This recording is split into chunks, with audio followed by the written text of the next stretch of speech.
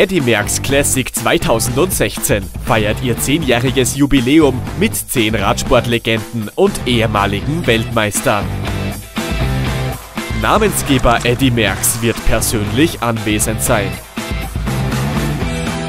Mit Startern aus über 20 Nationen, drei verschiedenen Streckentypen und Handbikerwertung ist die Eddy Merckx Classic das Radsport-Event des Jahres.